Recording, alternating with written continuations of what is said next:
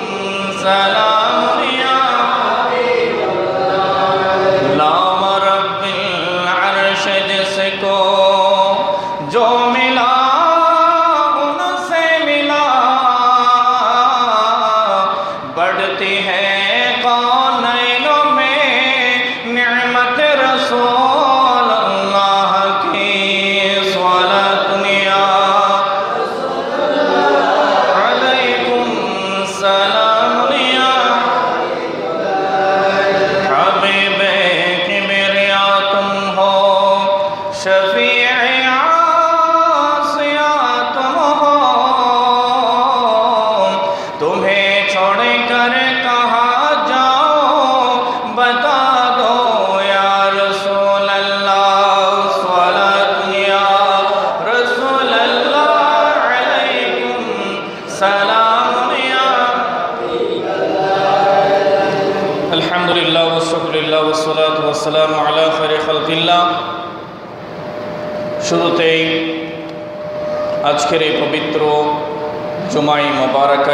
বর্ণিত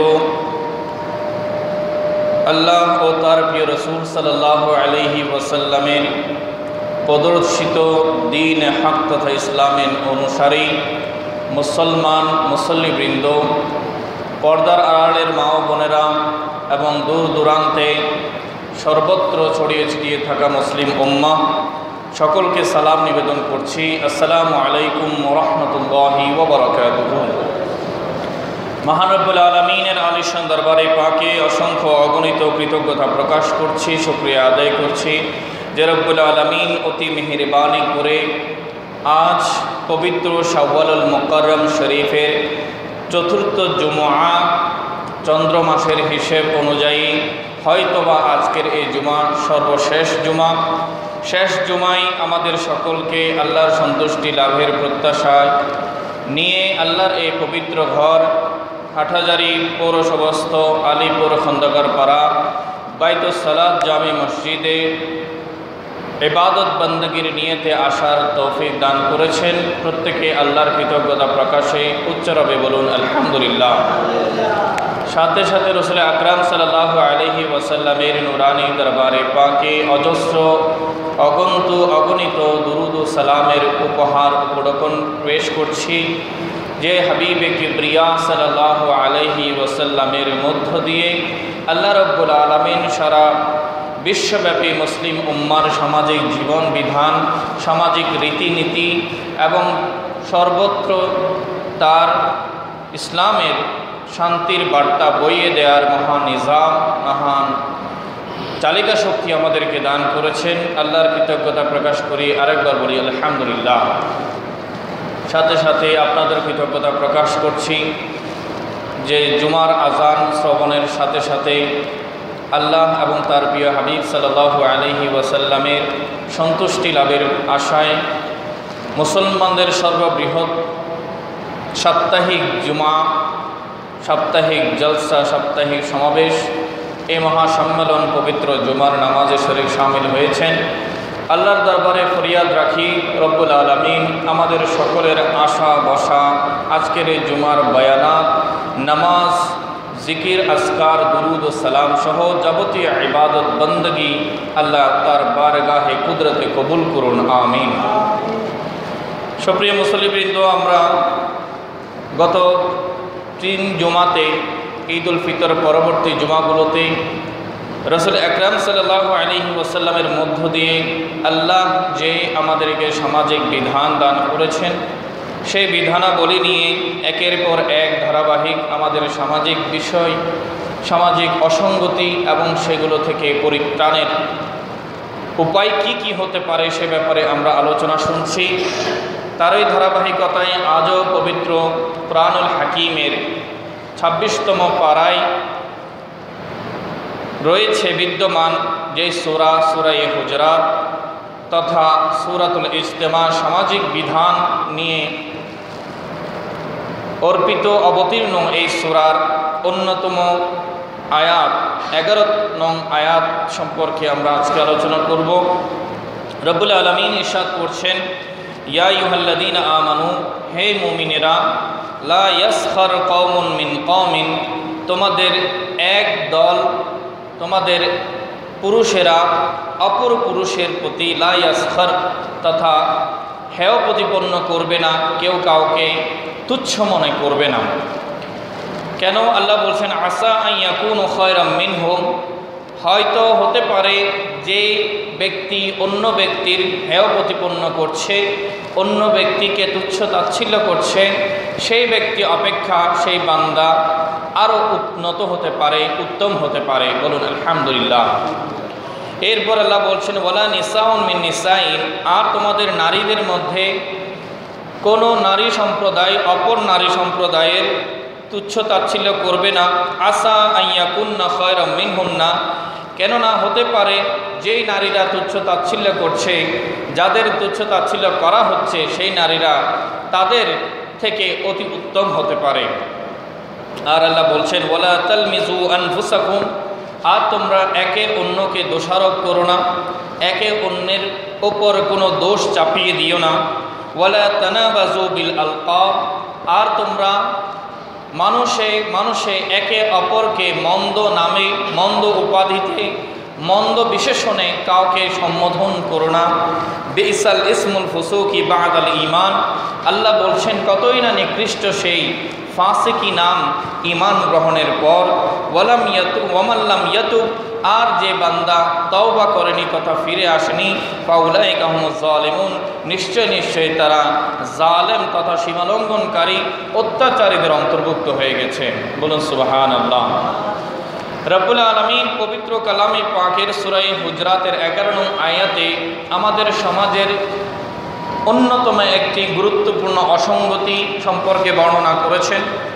যে অসঙ্গতি থেকে যদি আমরা বিরত না থাকি, যে অসঙ্গতি, যে অন্যায়, অবিচার থেকে যদি আমরা দূরে না থাকি, তাহলে আমাদের সমাজ জীবন অন্ধকার তথা অপকর্ম এবং অশান্তিতে ভরপুর হয়ে যাবে। শান্তির বার্তার আমরা প্রত্যাশা করাটা আমাদের জন্য অযৌক্তিক হবে। রবুল আলমিন পবিত্র কালামে পাকের এই আয়াতে করিমে বলছেন, হে মুমিনেরা, পূর্ববর্তী আলোচনাগুলোতে আমি আপনাদেরকে জানিয়েছিলাম যে এই সুরাই হুজরাত শরীফে আল্লাহ পাঁচ জায়গায় ইয়াই ওহাল্লাদিনা আমানু বলেছেন। কয় জায়গায় বলেছেন? পাঁচ জায়গায়।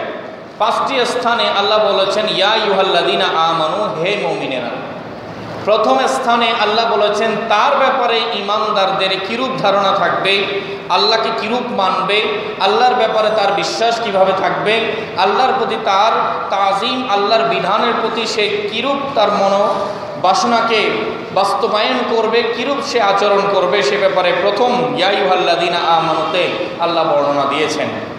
দ্বিতীয় ইয়াইহাল্লাদিনা আমানত আল্লাহ বলেছেন, তার রসুলের সাথে উন্মতের সম্পর্ক কীরূপ হবে?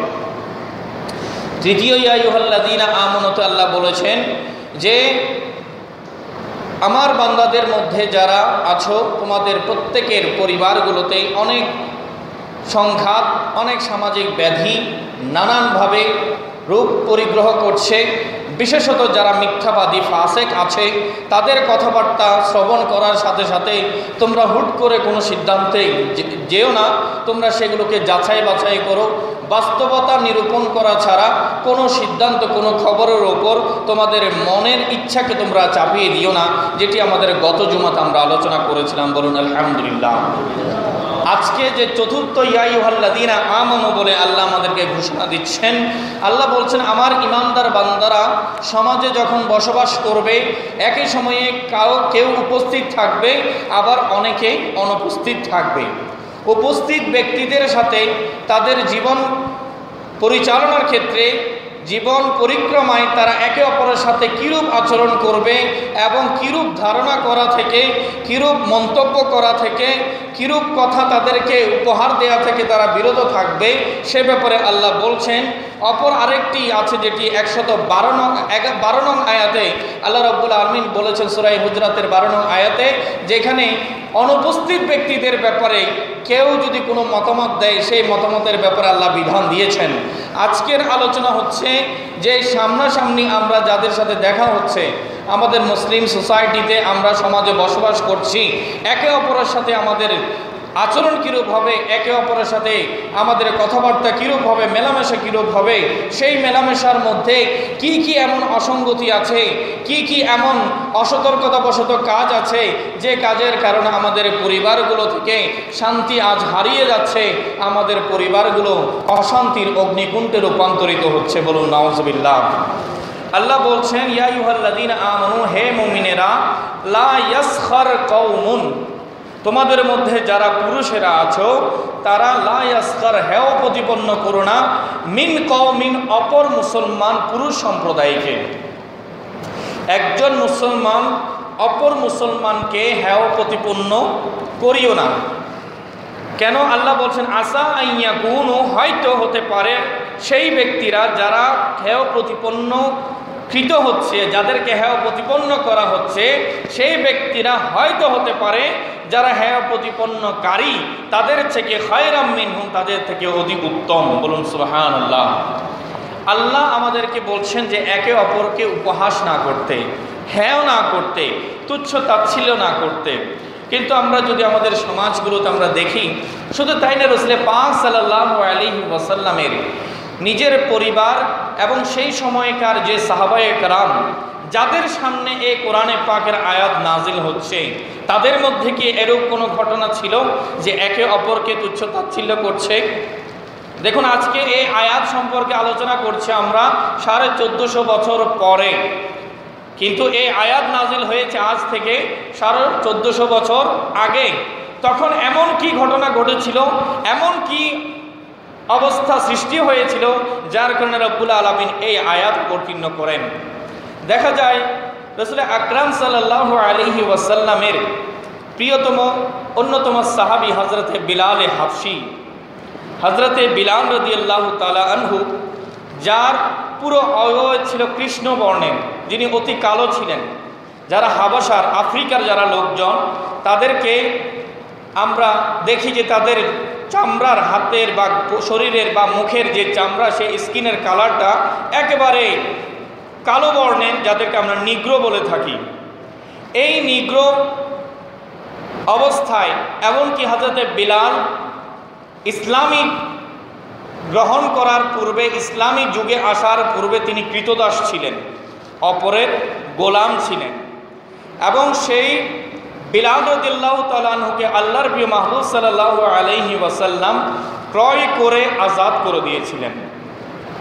রসুল পাকের আজাদকৃত গোলামের মধ্যে অন্যতম একজন হচ্ছেন হজরতে বিলাল রদিয়াল্লাহ তালাহু এই বিলাল রদিল্লাহ তালাহু যখন ইসলামের যুগে আসলেন, তখন দেখা যায় অন্যান্য মুনাফিকেরা বা ইহুদিরা যারা আছে, তারা তাদের বর্ণ, তার যে চেহারা, তার যে অবয়ব, তার পূর্ববর্তী ইতিহাস টেনে টেনে তাকে তুচ্ছ তাচ্ছিল্য করছে।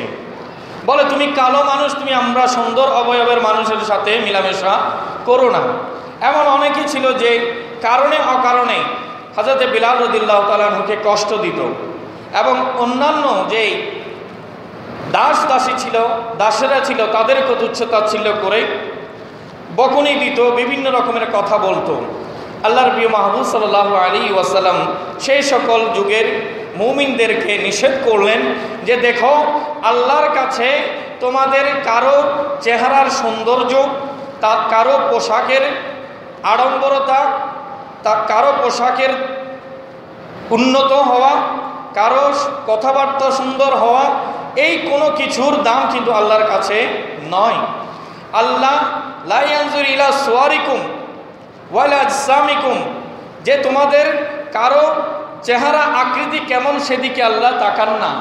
হাদিসে পাক আল্লাহ রসুল বলছেন যে তোমাদের কারও চেহারা কার কি সুন্দর, কার কি কালো, কার কি রং ফর্সা, কার রং কি কৃষ্ণ কিনা, কালো কিনা সেদিকে আল্লাহ তাকান না।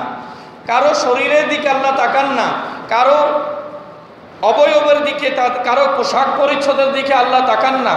বলেছেন ওয়ালা কিয়ানজুর ইলা কুলুবিকুম যে আল্লাহ রব্বুল আলমিন ইমানদারদের কলমের দিকে, অন্তরের দিকে তাকান বলুন সুবহান আল্লাহ আর আল্লাহ রব্বুল আলমিন পবিত্র কোরআন করিমে বলছে, ইন্না আক্রামাকুম ইন্দাল্লাহি আত্মাকুম যে আমার কাছে কেউ যদি উন্নত, কেউ যদি সম্মানিত কেউ যদি মর্যাদাপূর্ণ এমন কথার যদি সার্টিফিকেট পেতে চাও, তাহলে আমি আল্লাহ তোমাদেরকে একটি সূত্র বলে দিচ্ছি, আমার কাছে ওই ব্যক্তি সবচেয়ে বেশি উন্নত, সবচেয়েতে সম্মানিত যে ব্যক্তির অন্তরে আমি আল্লাহর ভয় বেশি আছে বলুন সুবাহান আল্লাহ এখন আল্লাহর ভয় যেটি অন্তরে থাকে, সেটা কাউকে কি দেখানো যায়?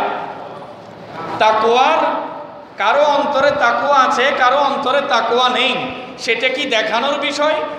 নাকি সেটি অন্তরের অনুভূতির বিষয়? বান্দা আল্লাহকে যত বেশি শ্রদ্ধা করবে, আল্লাহকে যত বেশি ভয় করবে, সেই ভীতির উপরে, কারও ভীতি যদি নামাজের প্রতি হয় কারও ভীতি যদি রোজার প্রতি হয়, কারও ভীতি যদি জাহান্নামের আজাবের প্রতি হয়, আর কারও ভীতি যদি আল্লাহকে দর্শন করার, আল্লাহকে দেখার জন্য হয়ে যায়, তখন প্রতিটি স্তরে স্তরে তার তাকুয়ার মর্যাদা, সেই ফজিলতের অনেক তারতম্য পাওয়া যায়। বলুন সুহান আল্লাহ এখন আমাদের সমাজগুলো তো আমরা দেখছি, যাদের কিছু বিশেষত প্রথমত কথা আসে বংশ পরিচয় নেই কারও যদি নিম্ন নিম্ন বংশের লোক হয়, তখন উচ্চ বংশের যারা, পূর্ববর্তীদের থেকে যারা চৌধুরী বংশ ছিল, ভুইয়া বংশ ছিল, তালুকদার বংশ ছিল, অনেক বংশের আমরা এখানে পরিচয় পেয়ে যায় আমাদের সমাজগুলোতে। অথবা দেখা যাচ্ছে যারা জমিদারই ছিল বা বিত্তশালী ছিল, যারা ব্যবসায়ী ছিল, তারা দেখা যাচ্ছে সমাজে যারা নিম্ন শ্রেণির লোক আছে, তাদেরকে দেখলেও কেন জানে ঘৃণার চোখে দেখেন।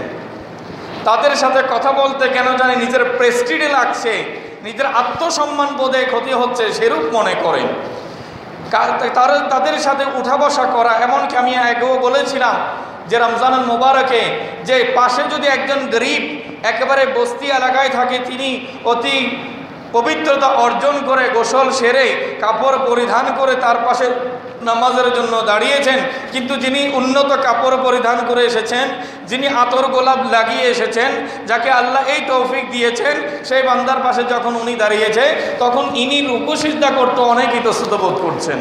বলুন নওয়াজবিল্লা কিন্তু আল্লাহ রব্বুল আলমিনের প্রিয় হাবিবের মধ্য দিয়ে আল্লাহ বলছেন, তোমরা কাউকে তুচ্ছ তাচ্ছিল্য করো না। তোমার কাছে ধন দৌলত আছে, তোমার কাছে অর্থবিত্ত আছে, এর মানে এই নয় যে তুমি সবার চেয়ে শ্রেষ্ঠ হয়ে গেছো।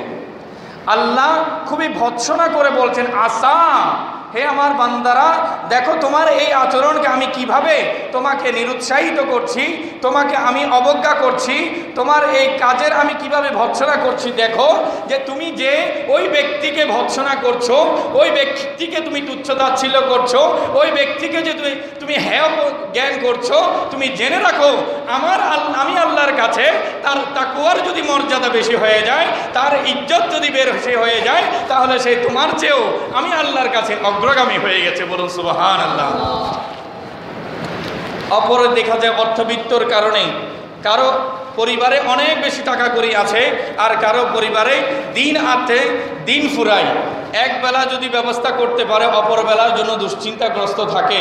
তাই বলে কি, তার কোনো সামাজিক মর্যাদা আমরা দেব না? তার সাথে কথাবার্তায় বলায় যেমন ইচ্ছে তেমন কি তার উপরে আমরা হস্তক্ষেপ করতে পারব? আল্লাহ রব্বুল আলমিন বলছেন, তোমরা পুরুষেরা, কারণ অর্থবিত্ত এবং বংশগৌরব, এগুলো বেশি কাজ করে পুরুষের মাঝে। কার মাঝে? পুরুষের মাঝে। পুরুষেরাই নিজের সৌর্যবীর্যের জন্য দাপট নিয়ে কথা বলে। যে আমার পূর্ববর্তী যে চোদ্দ পুরুষ তারা তাদের জীবন বৃত্তান্ত, আর তোমার পূর্বপুরুষ, তোমার বাবা, তোমার দাদা, এদের জীবন বৃত্তান্ত যদি তালাশ করো, আমাদের নগের পর্যন্ত তুমি কাছে আসতে পারবে না। বলুন নাউজবিল্লা এমন অনেকগুলো কথা আমরা দেখি, মানুষের যখন বাঘ বিতণ্ডায় জড়ায়, মানুষ তো ঝগড়া বিবাদ করেই, সমাজ যখন থাকবে, একে অপরের সাথে নানান বিষয়ে বিবাদ লাগে, কিন্তু বিবাদের সময় একে অপরকে যেভাবে তুচ্ছতাচ্ছিল্য করে কথা বলে, মনে হয় যেন তার চেয়ে শ্রেষ্ঠ ব্যক্তি আর সমাজে কেউ নাই।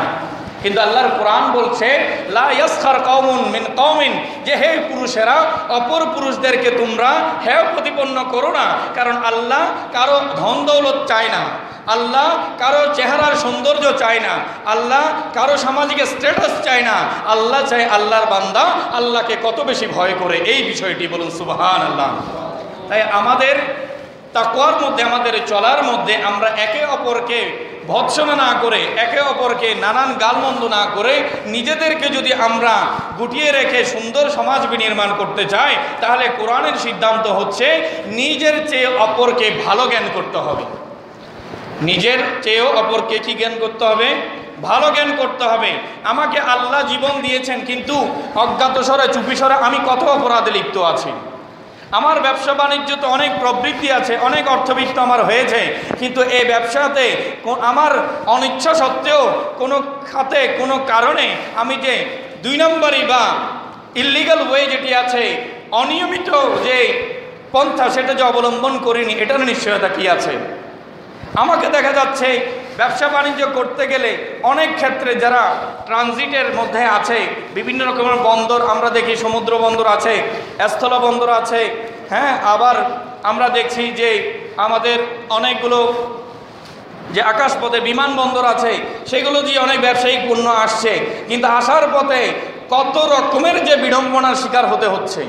আর মানুষ বিড়ম্বনা থেকে বাঁচার জন্য বাধ্য হয়ে দেখা যাচ্ছে না হয় ঘুষ দিচ্ছে, না হয় দেখা যাচ্ছে কোনো ক্ষেত্রে ইন্টারেস্টের সেই অংশ তার সাথে চুক্তিবদ্ধ হচ্ছে বা কাস্টমের যারা জড়িত আছে তাদেরকে নানান উপায়ে খুশি করার জন্য অনেক অবৈধ পন্থা অবলম্বন করছে। এমনও দেখা যাচ্ছে সরকারি কর ফাঁকি দেওয়ার জন্য পণ্য যদি একটি বড় সংখ্যার বড় পরিমাণের হয়, সেটাকে কমিয়ে ছোট পরিমাণে করা হচ্ছে।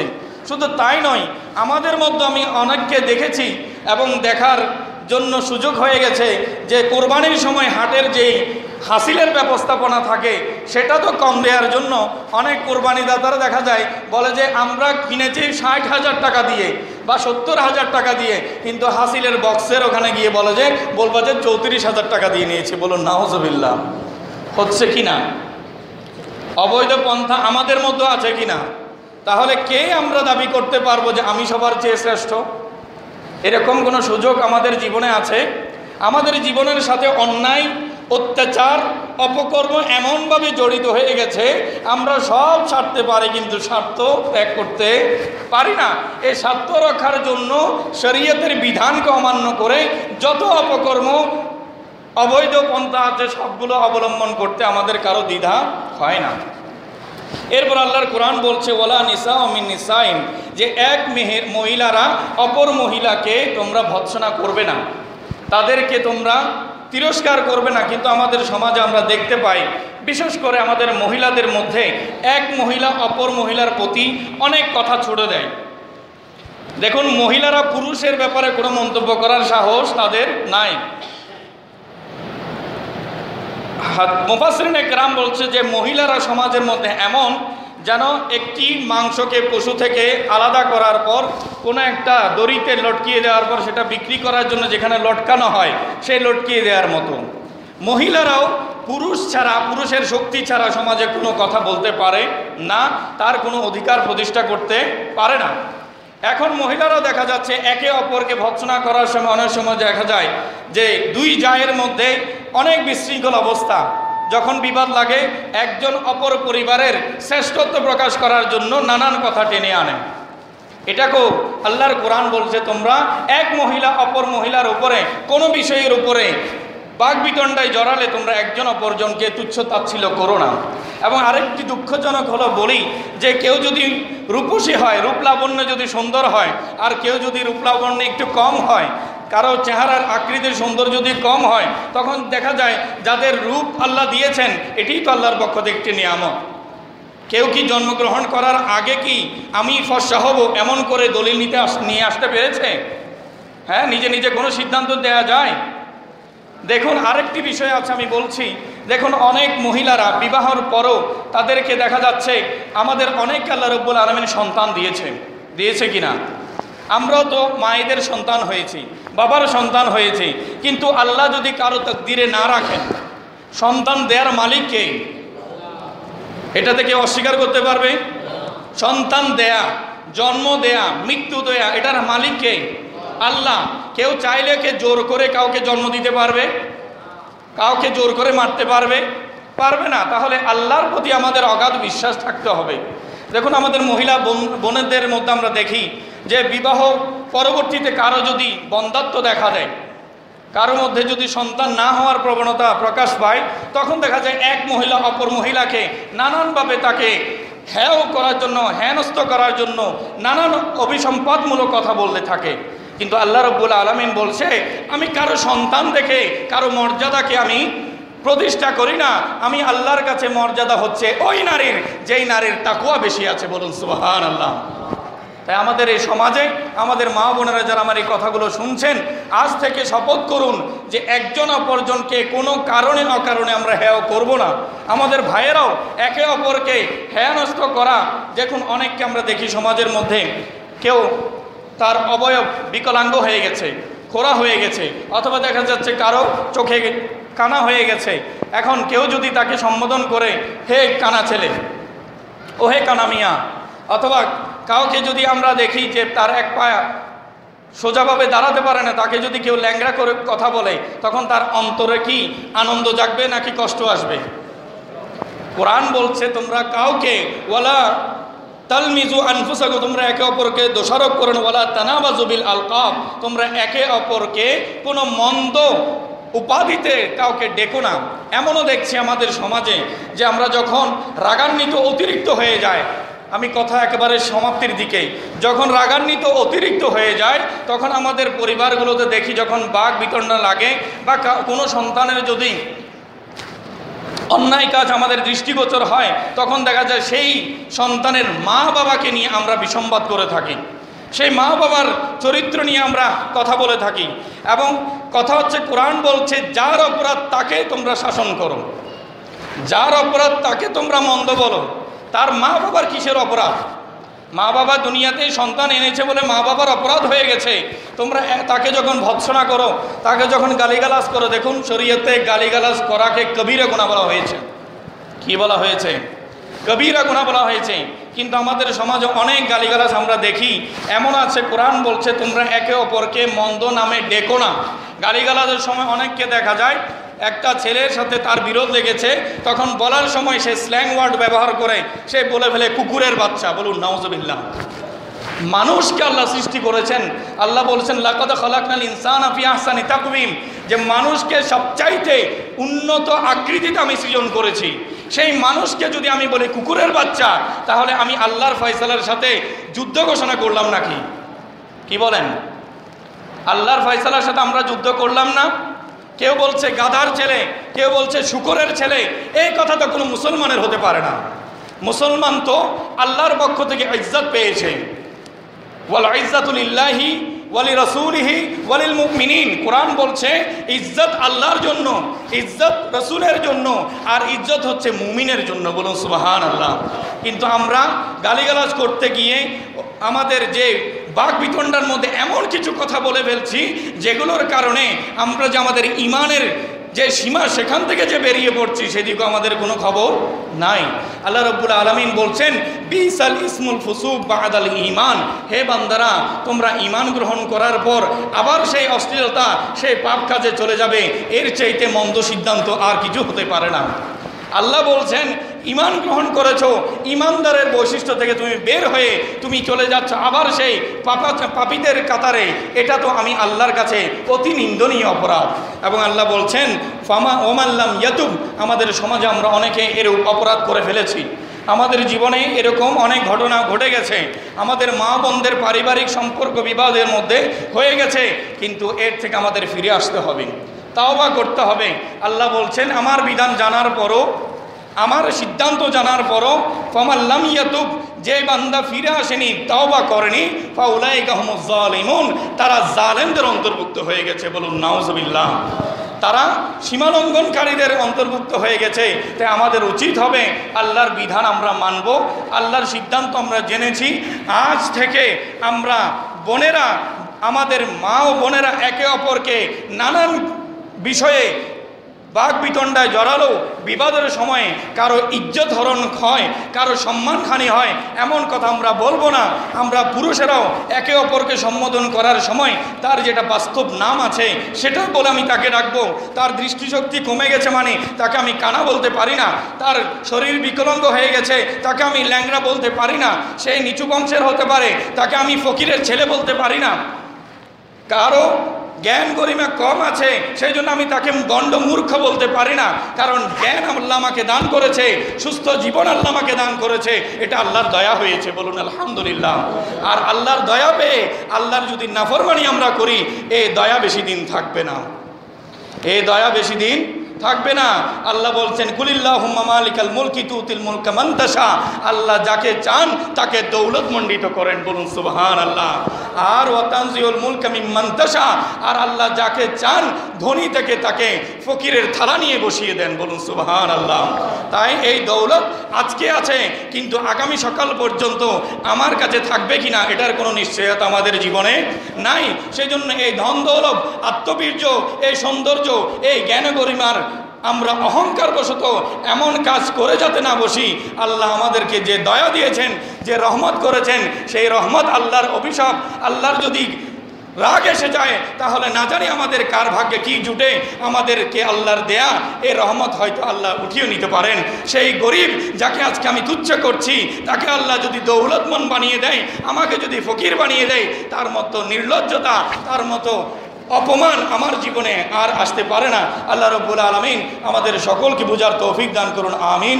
ও আখির দাওয়ানা আনিল আলহামদুলিল্লাহ রবিল আলমিন। আসসালামু আলাইকুম ওরহমতুল্লাহি ওবরাকাতুহু